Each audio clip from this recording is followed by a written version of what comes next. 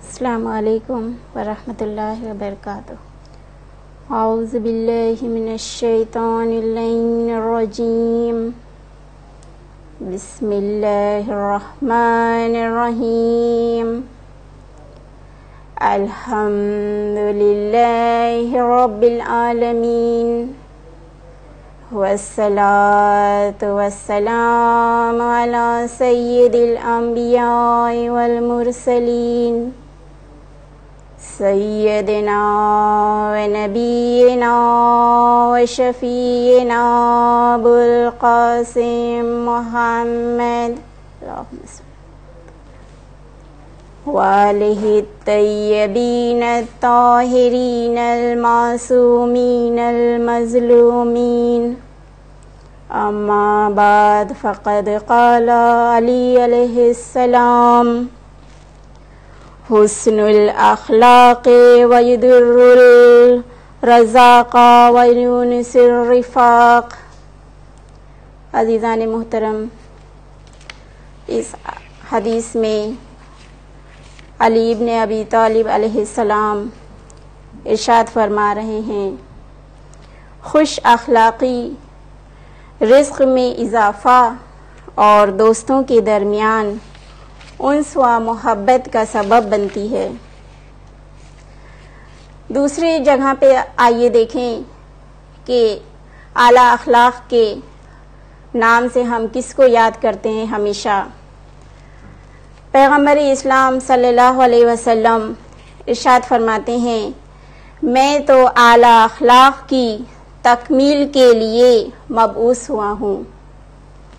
जिस तरह हमें यकीन है कि इस दुनिया में तगैर व दीगर गुनी को सिबात हासिल है, इसी तरह हमें ये भी यकीन रखना चाहिए कि दुनिया में कुछ ऐसे उसूल, मुफाहिम भी हैं जो रहती दुनिया तक कायम रहने वाले हैं।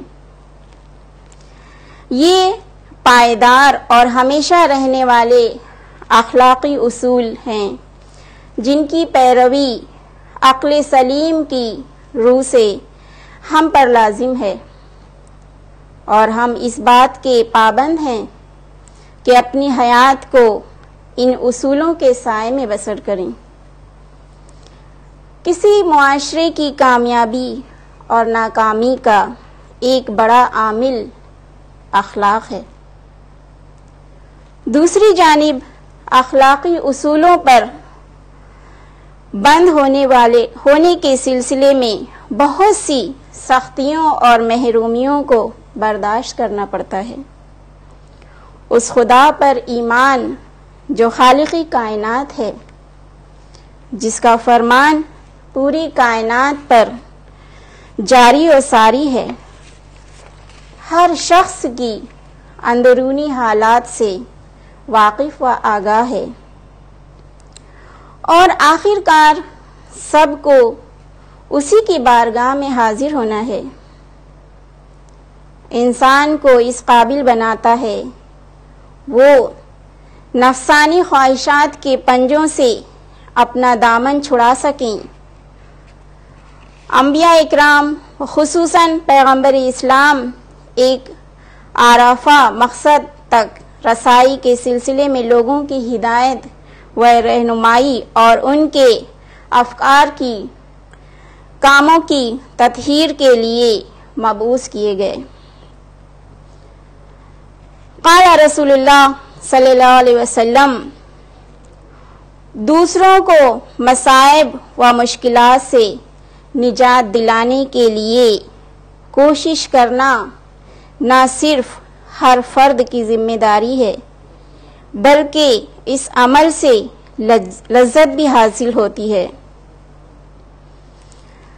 पैगंबर इस्लाम सल्लल्लाहु अलैहि वसल्लम ने फरमाया कि जो शख्स सुबह में सोकर उठे और वो मुसलमानों के उमूर की फ़िक्र ना करे, उसे मुसलमान नहीं कहा जाता। अगर अजीज़ा ने मोहतरम, हम अपने आप को मुसलमान होने का दावा करते हैं। हम समझते हैं कि हम मुसलमान हैं तो हम पर लाजिम है कि दूसरों की मुश्किल को, अपनी मुश्किल समझ के आगे बढ़ें। उनकी मुश्किल को हल करने की कोशिश करें।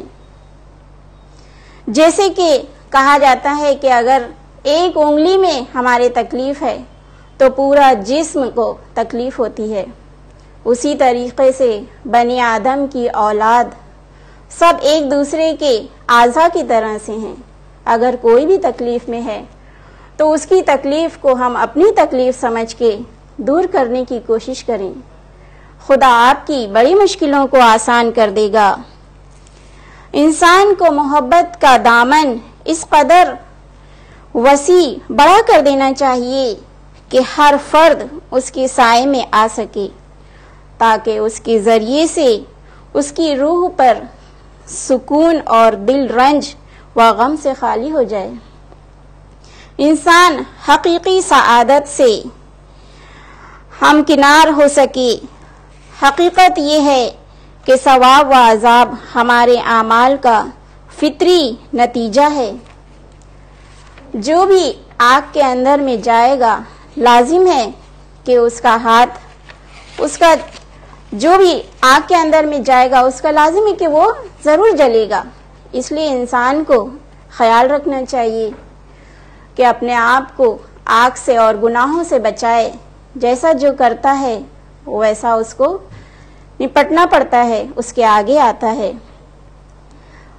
कुरान मजीद की बहुत ही मशहूर और मरूफ आयत है फ़मैयाम मिसकाला ज़र्रतिन खैरियरा फ़मैयाम मिसकाला ज़र्रतिन शर्रा हम मुसलमान रोज़, रोज़ाना कुरान की तिलावत से आगाह होते हैं, सुनते रहते हैं। इसका मतलब क्या है? कि जो भी इंसान ज़र्रा बराबर भी नेकी करता है, उसका अज्र खुदावंद आलम उसको ज़रूर देता है। और जो भी ज़र्रा बराबर भी बुराई करता है, उसका नतीजा भी उसके आगे ज़रूर आता है। कोई अगर कांटों के बीज बोएगा तो फलों की और फूलों की उम्मीद कैसे रख सकता है?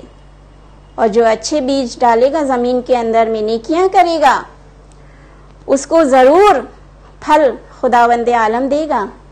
इंसानों से उम्मीद रखने की ज़रूरत नहीं है कि हमने इसके साथ नेकी करी है तो हम इसका बदला इससे चाहें। नहीं कहा जाता है कि नेकी करने के सिलसिले में एक हाथ से करो तो दूसरे हाथ को खबर ना हो। नेकी करो, दरिया में डाल दो। आपकी नेकी जाया नहीं जाएगी। खुदा उसे देख रहा है।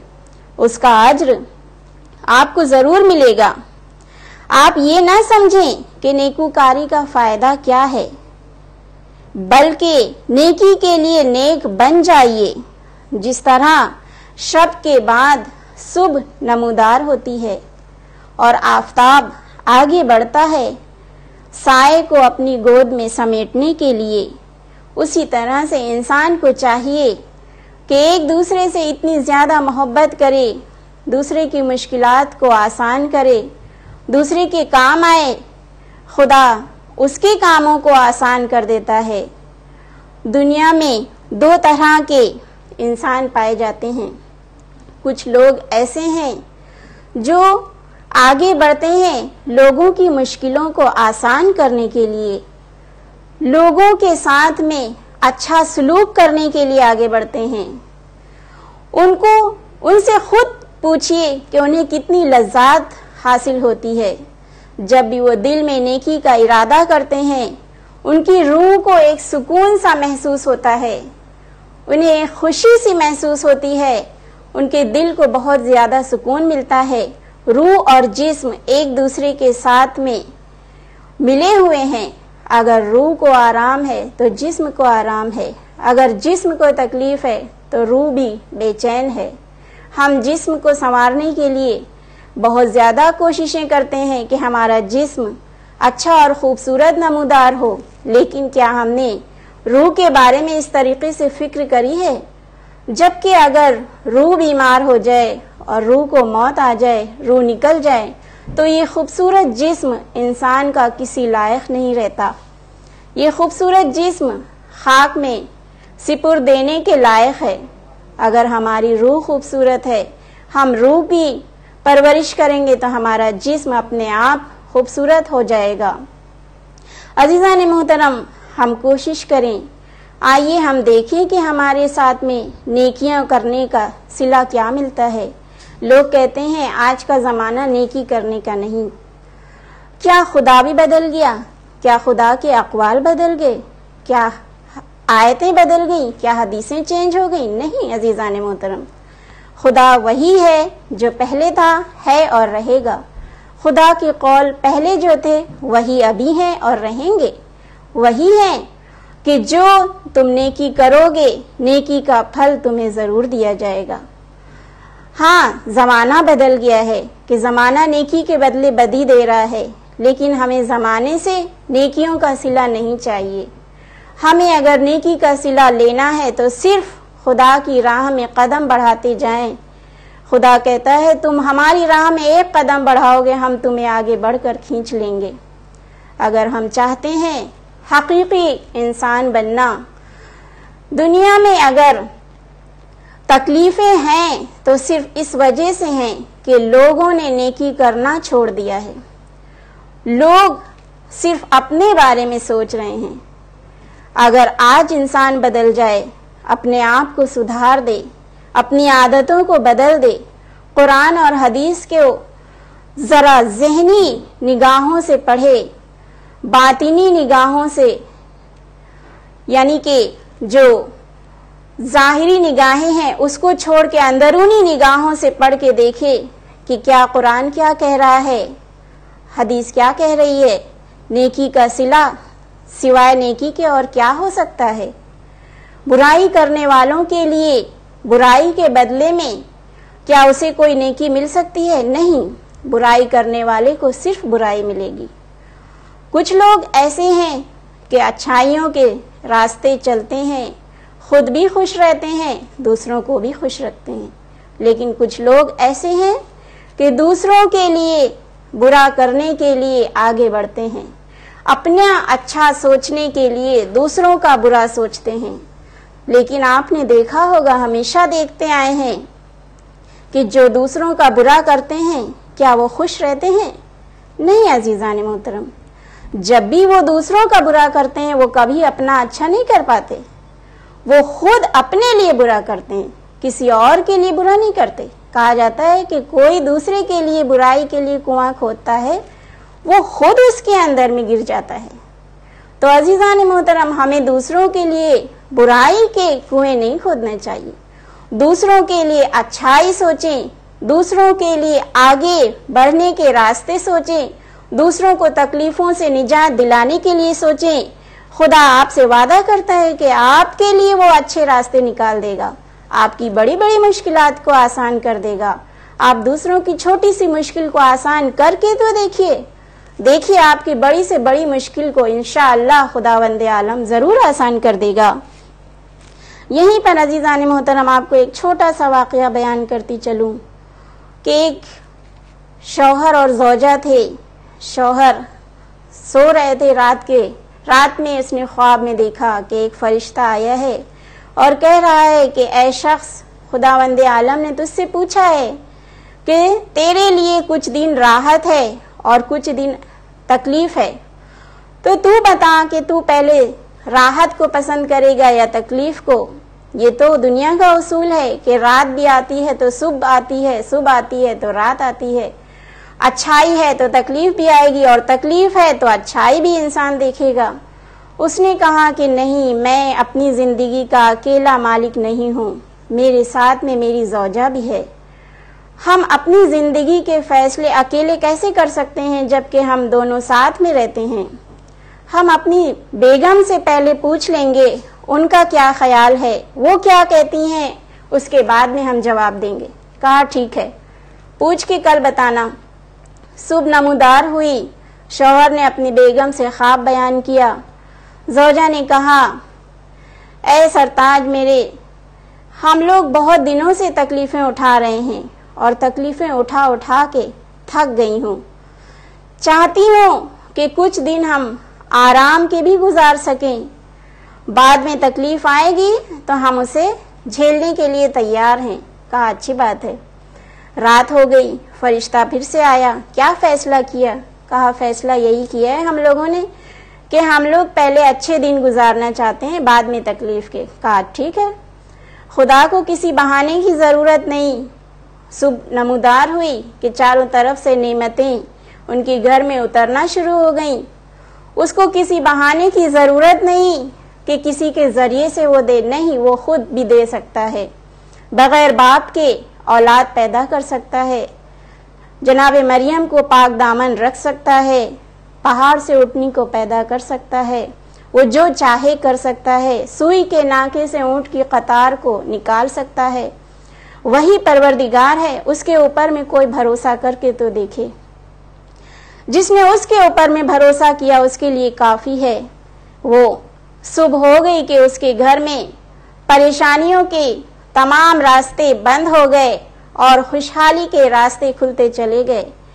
दौलत और पैसा हर चीज़ उसके घर में आ गई। वो मियाँ बीवी ने दोनों ने फैसला किया कि देखो, जब हम तकलीफ़ में थे तो हमें बहुत तकलीफ़ होती थी। आज हम आराम के दिन गुजार रहे हैं। खुदा ने हमें इस काबिल किया है। हमें अपनी मुसीबत के दिन भूलना नहीं चाहिए। हमें दूसरों के भी काम आना चाहिए। उन लोगों ने पहले तो पड़ोसियों का हक अदा किया, क्योंकि कहा जाता है कि सबसे पहले अपने पड़ोसी का हक अदा करो। पड़ोसी की खबर लो।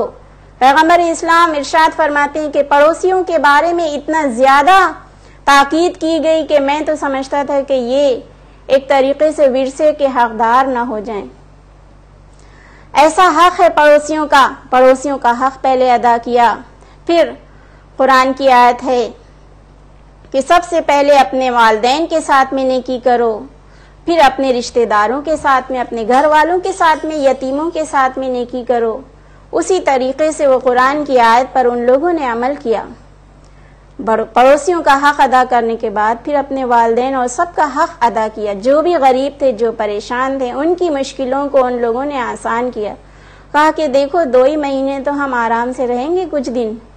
उसके बाद में हम फिर तकलीफ़ में आ जाएँगे। जब तक हमारे पास में आराम है, हम खुशी से हैं, हम दूसरों की भी मुश्किल को आसान करें, दूसरों को भी खुश करें।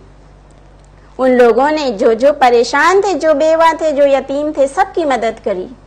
अब इस तरीके से एक महीना गुजर गया।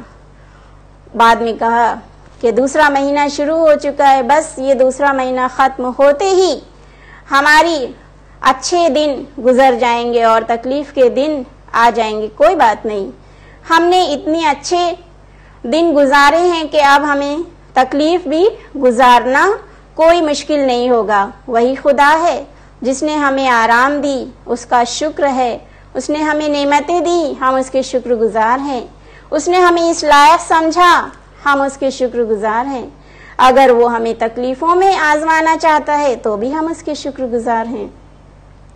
अब दो महीने गुजर गए, दो महीने होके एक दिन, दो दिन इसी तरीके से एक हफ़्ता गुजर गया। दोनों मियाँ बीवी कहने लगे, क्या बात है कि खुदा ने तो कहलवाया था, दो महीने तुम आराम से रहोगे, दो महीने तकलीफ़ से, दो महीने तो गुजर गए, क्यों तकलीफ़ नहीं आई? क्या बात है? खाद में, रात में सोते वक्त उसके शोहर ने कहा है फरिश्ते, अब हम लोग तैयार हैं कि हमारे ऊपर में जो तकलीफ़ आए, हम उसे गुजारने के लिए तैयार हैं। अब हमने राहत के दिन गुजार लिए, हम दोनों मियाँ बीवी तैयार हैं। फरिश्ते ने कहा हाँ ऐ शख्स, खुदा ने तो यही कहा था कि दो महीने तुम्हें आराम के गुजारना है और दो महीने के बाद में तकलीफ़। क्योंकि खुदा ने ये आराम, ये राहत तुम दोनों के लिए दी थी, लेकिन तुम दोनों ने ये राहत अकेले नहीं गुजारी। ये दौलत को तुमने सिर्फ़ अपने ऊपर में खर्च नहीं किया।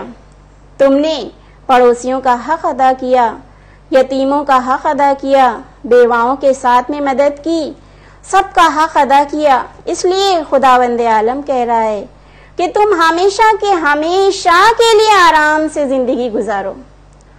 देखा अजीजा ने मोहतरम, हम चाहें तो हमेशा के लिए भी आराम गुजार सकते हैं, लेकिन उसका एक कानून है, उसका एक रास्ता है। हम दूसरों की तकलीफ़ को तकलीफ़ नहीं समझते, अपनी तकलीफ़ को सिर्फ़ हमेशा याद करते हैं कि हम कितने परेशान हैं। लेकिन अगर आप दूसरों की परेशानी को दूर करें, खुदावंद आलम आपको कभी तकलीफ़ में नहीं रखेगा। आपको हमेशा तकलीफ़ से दूर रखेगा और हमेशा खुशियाँ आपके दामन में रहेंगी। आप हमेशा ऐसा सोचिए कि हम किसी से लेने के लायक खुदा हमें ना बनाए। हमें देने के वाला बनाए। हम किसी के काम आ सकें, हम किसी की मुश्किल को आसान कर सकें। खुदावंद आलम से दुआ जैसी की जाती है, वो सुनता है। वो कहता है कि तुम मुझसे मांगो, तुम जो पुकारते हो तो मैं सुनता हूँ। मैं तुम्हारी दुआओं को सुन के उसका जवाब देता हूँ। तो क्यों ना हम ऐसी दुआ मांगे कि परवरदिगार हमें देने लायक बनाना। हमें लेने लायक न बनाना। हमें दूसरों की मुश्किल को आसान करने के लायक बनाना। हमें दूसरों को तकलीफ़ में डालने वाला इंसान न बनाना। हमें वैसा इंसान बनाना जैसा कि तू चाहता है। तू जैसा चाहता है कि मेरा बंदा वैसा हो। ए परवरदिगार, हम लोगों को, हम मुसलमानों को, सबको वैसा बंदा बना दे कि जैसा तू चाहता है। एक शायर ने क्या शेर कहा है? कि अल्लाह अगर तौफीक न दे, अल्लाह अगर तौफीक न दे, बंदे के बस की बात नहीं। फैजियाब मोहब्बत आम सही, इरफान मोहब्बत आम नहीं। यानी खुदा वंद आलम की नज़र में सारे बंदे एक जैसे हैं, लेकिन खुदा कह रहा है कि मेरे कुछ बंदे मेरे लिए ख़ास हैं। सारे बंदों को मैंने खल्क किया है, सब मेरी नज़र में एक जैसे हैं, लेकिन कुछ बंदे ख़ास हैं। अगर अल्लाह तौफीक न दे नेकी करने की इंसान कर ही नहीं सकता। इंसान कोशिश करे, लेकिन नेकी कर नहीं सकता, अच्छे काम नहीं कर सकता। अल्लाह जब तौफीक देता है तो करता है। अल्लाह की नज़र में सारे बंदे एक जैसे लेकिन कुछ बंदे खास हैं। वो कौन है? वो है मुत्तकी परहेज गुजार क्यों ना हम दुनिया में खास बनने की आरज़ू रखते हैं? क्यों ना हम ये कोशिश करें कि हम खुदा की नज़र में ख़ास बंदे बन जाएँ? हम खुदा की नज़र में अच्छे इंसान बन जाएँ, जो हमारे लिए दुनिया और आखरत में कामयाबी है। दुनिया में हम ख़ास बन के चंद दिनों के लिए क्या फ़ायदा? आज हैं, कल मर गए दूसरा दिन। एक पल की भी खबर नहीं, सामान सौ बरस का है, पल की खबर नहीं। हम लोग रोज़ देखते हैं, रोज़ सुनते हैं।